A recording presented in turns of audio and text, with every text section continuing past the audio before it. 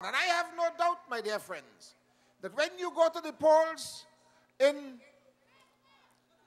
in 2000, when you go to the polls, I nearly say something wrong. In 2007, ladies and gentlemen, I have no doubt that you will cast a resounding vote for the People's National Movement.